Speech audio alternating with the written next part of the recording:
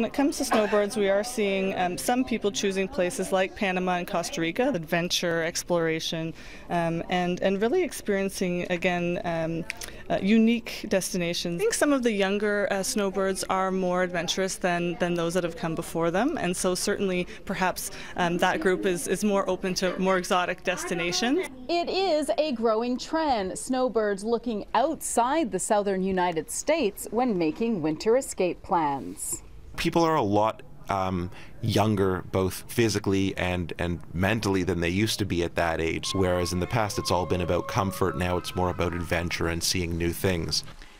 The Association of Canadian Travel Agencies says snowbird trips outside the U.S. has increased about 12% since the year 2000. Not surprising since that's the trend all around. In fact, they say there's been a 418% growth to non U.S. destinations since 2000.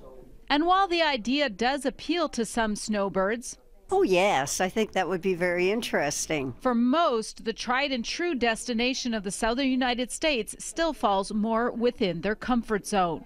The fact that uh, there's all kinds of diseases, things that you pick up at these smaller countries than you pick up in, say, Florida or one of those places. And medical coverage and travel insurance is a key factor for most snowbirds. But experts say your coverage costs shouldn't increase based on your destination.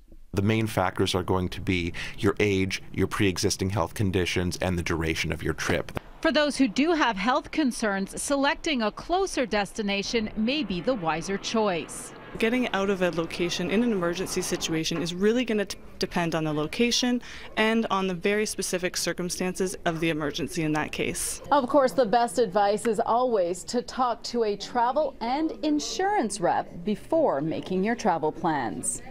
In Etobicoke, Audra Brown, City News.